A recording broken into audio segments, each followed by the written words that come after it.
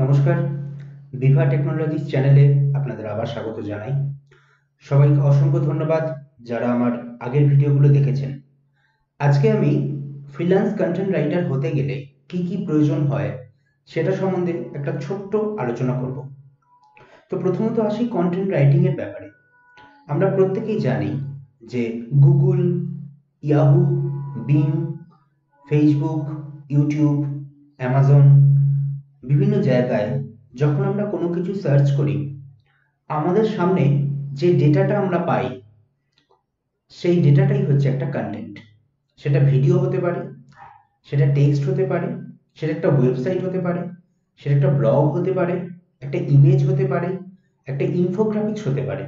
তো এই পুরো বিষয়টা হচ্ছে একটা, বা কন্টেন্ট বা কন্টেন্টস এবার আসি যে যারা মূলত কন্টেন্ট রাইটিং এ আসতে চাইছেন তাদের কি করা উচিত? বা তারা কেন কন্টেন্ট রাইটিং এ আসবেন এবং তারা কীভাবে কন্টেন্ট রাইটিং ক্যারিয়ারে সাস্টেইন করবেন? তো আমি আজকে প্রথমত আমি এই ভিডিওটা একটি ছোট্ট ভিডিও এবং এটি আমি বানাচ্ছি আমার একটি ছাত্রের অনুরোধে। সে বিশেষভাবে আমাকে অনুরোধ করেছে যে একজন ভালো কন্টেন্ট রাইটার হতে গেলে আমাদের কি কি গুণ থাকা দরকার? তবে সেটা নিয়ে একটা খুব ছোট্ট একটা ভিডিও বানাচ্ছি। ওকে তো আমরা চলে আসি মেন বিষয়ে।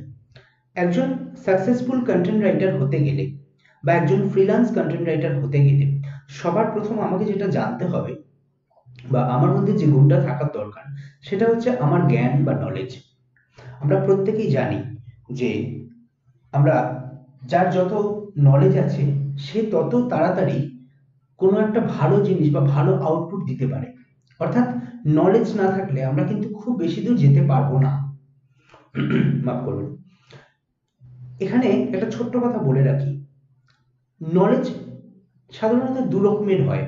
একটা হচ্ছে টেক্সট বুক নলেজ অর্থাৎ যেটা আমরা বইয়ে পড়ছি।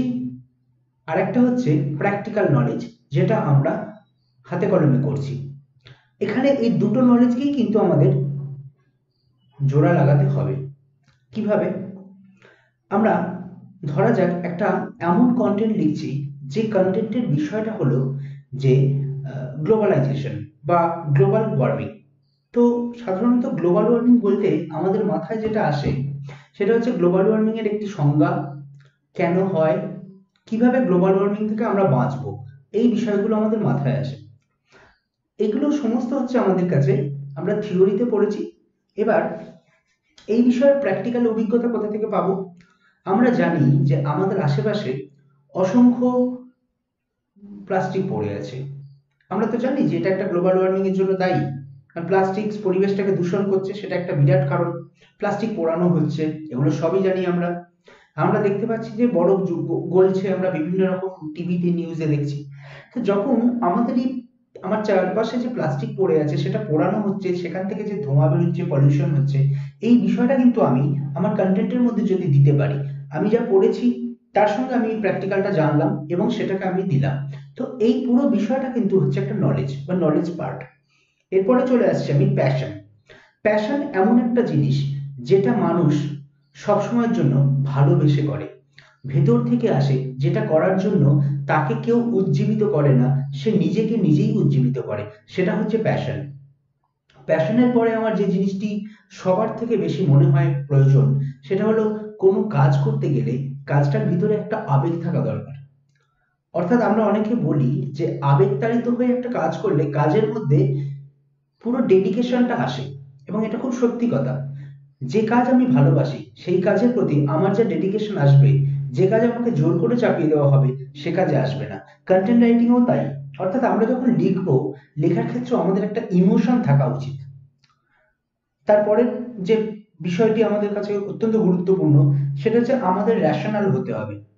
অর্থাৎ আমরা যে তথ্যটা দিচ্ছি, সেই তথ্যটা যেন লজিক্যাল হয় এবং সেই লেখাটা যেন অবশ্যই লজিক ভিত্তিক হয়। কোনো আজগুবি বা গ্যাজাবি গল্প নয়। হ্যাঁ আমি ভূতের গল্প লিখতেই পারি, আমি আজগুবি গল্প লিখতে পারি, সেটাও একটা কন্টেন্ট কিন্তু সাধারণত কন্টেন্টের পিছনে একটা লজিক আছে। সেটা হচ্ছে যে এগুলো যেগুলো আমরা ওয়েবসাইটের জন্য লেখা লিখি বা যেগুলো ওয়েবসাইটের জন্য লেখা হয়, সেই কন্টেন্টগুলোর কিন্তু একটা রিডার বেস আছে।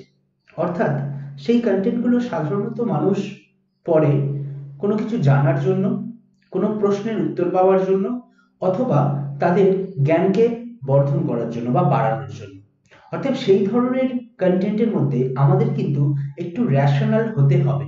অর্থাৎ লজিক্যাল এবং যেটা ঠিক সেটাই আমাদের লিখতে হবে।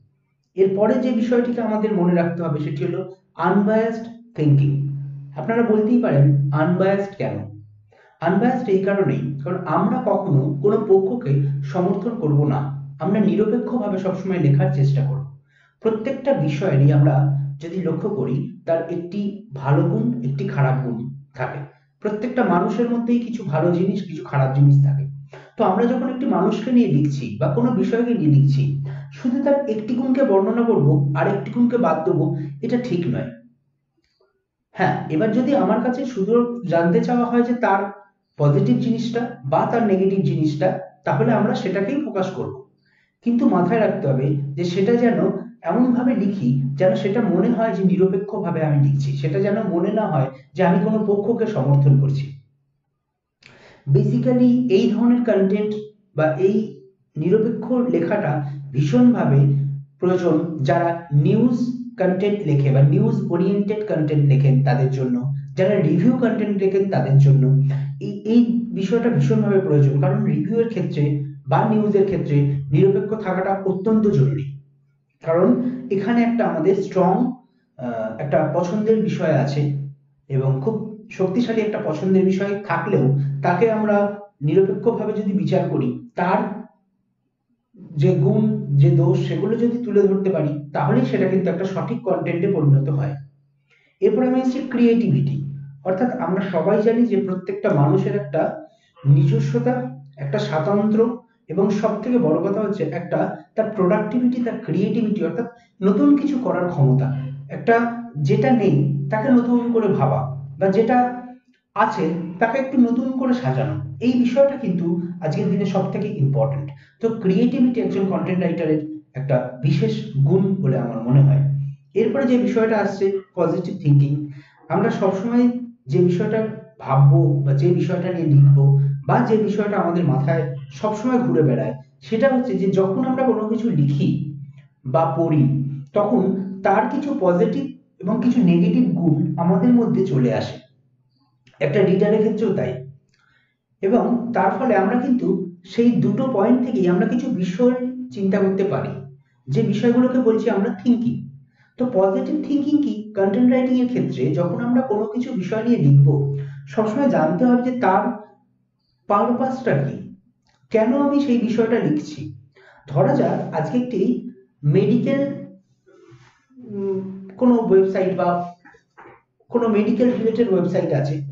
তো সেখানে একটি এরকম কন্টেন্ট লিখতে হচ্ছে যে মর্নিং ওয়াকের বেনিফিট বা মর্নিং ওয়াকের উপকারিতা। তো এই ধরনের লেখার ক্ষেত্রে আমাদের পজিটিভ থিঙ্কিং কি হওয়া উচিত? কেন করব? করলে কি উপকার হবে? এবং কারা করতে পারে? এই সমস্ত বিষয়গুলো কিন্তু আমাদের সুন্দরভাবে ফুটিয়ে তুলতে হবে। এখানে কিন্তু আরও অনেক নেগেটিভ পয়েন্টস আছে। যেমন, ঘুম থেকে শীতকালে সকালবেলা উঠলে ঠান্ডা লাগতে পারে। এটা একটা নেগেটিভ পয়েন্ট কিন্তু। থিঙ্কিংটা কিন্তু আমাদের পজিটিভ রাখতে হবে যে, কারণ মর্নিং ওয়াকের বেনিফিট কিন্তু ওর থেকে অনেক বেশি। অর্থাৎ ঠান্ডার প্রোটেকশন নিয়ে যদি কেউ বেরোতে পারে, তো সে কিন্তু ঠিকঠাকভাবে তার শরীরটাকে সঠিক তরতাজা রাখতে পারবে। অর্থাৎ এইটাই হচ্ছে আমাদের পজিটিভ থিঙ্কিং যে নেগেটিভ বিষয়টাকে নেগেটিভভাবে না বলে পজিটিভের মধ্যে তাকে আমি এইভাবে উপস্থাপনা করব যে যেন সে প্রোটেকশন নিয়ে সকালবেলা ঠান্ডায় বেরোয়। এরপরে লাস্ট এবং সর্বশেষ যে বিষয়টাকে আমাদের ফোকাস করতে হবে, সেটা হচ্ছে একটা ইন্টারেক্টিভ মেথড এই ইন্টারেক্টিভ মেথড ব্যাপারটা খুবই সহজ। যেন মনে হয় যে রিডার আমার লেখাটি পড়ছে, যে আমার ওয়েবসাইট আমার ব্লগ আমার ভিডিও আমার ইমেজ তার ঠিক উল্টো দিকে বসে আছে। যার হাতে এই মুহূর্তে আমার ওয়েব প্রপার্টিটা রয়েছে। যেন মনে হয় যে তার সঙ্গে আমি একটা ইন্টারাকশন করছি। অর্থাৎ যদি আমি খুব সহজভাবে বলি, এটা পরিষ্কার যে আমরা একটু কনভারসেশনাল মেথডে লেখার চেষ্টা করব। কেন? যেখানে প্রশ্ন আসবে, যেখানে উত্তর আসবে, যেখানে কিছু প্রশ্ন ছুঁড়ে দেওয়া হবে তার চিন্তা ভাবনাগুলোকে সজাগ করার জন্য। এটা খুব ভালো একটা প্র্যাকটিস কারণ এই অভ্যাসটা করলে আমরা খুব তাড়াতাড়ি আমাদের যে যে আমাদের রিডার যারা আমাদের যারা অডিয়েন্স বা যাদেরকে আমরা আমাদের লেখাটা সরবরাহ করছি, তাদের সঙ্গে আমাদের একটা বন্ডিং তৈরি হবে আননোয়িংলি অর্থাৎ অজানা ভাবে একটা বন্ডিং তৈরি হবে। এবং এটা কিন্তু ব্র্যান্ডিং এর ক্ষেত্রেও ভীষণ ইম্পর্টেন্ট কারণ যখনই কেউ আমার কাছ থেকে তার প্রয়োজনটা মিটিয়ে ফেলতে পারবে, তখনই সে কিন্তু অবশ্য অবশ্যই আমাকে কিন্তু তার একজন নিজের লোক বলে ভাবতে শুরু অর্থাৎ আমি যেন তার সময় থাকতে পারি, তার সঙ্গে থাকতে পারি, তার সময় মানে তার যখন আমাকে দরকার, আমি যেন তার সঙ্গে থাকতে পারি। এইটাই হবে একটা কন্টেন্ট রাইটিং এর সব থেকে বড় ইন্টারঅ্যাক্টিভ মেথড যেটাকে আমাদের সবসময় মাথায় রাখতে হবে। তো আজকে আমি এই বিষয়গুলো নিয়ে একটু ছোট্ট করে আলোকপাত করলাম। আশা করি আপনারা বুঝতে পেরেছেন। যারা একদম নতুন এই ইন্ডাস্ট্রিতে আসতে চাইছো, তাদের জন্য আমি বড় একটা ভিডিও আনব, যেটা কন্টেন্ট রাইটিং রিলেটেড আর যারা এই ইন্ডাস্ট্রিতে অলরেডি কাজ করছ, যারা ভালো কাজ করছ, তাদের অসংখ্য ধন্যবাদ। যারা নতুন, যারা কিছু শিখতে চাইছো, তারা এই পদ্ধতিগুলো ফলো করো। আশা করি তাহলে তোমরা কিন্তু খুব তাড়াতাড়ি নিজেদেরকে ভালোভাবে দাঁড় করিয়ে ফেলতে পারবে। আজকের মতো ধন্যবাদ, নমস্কার।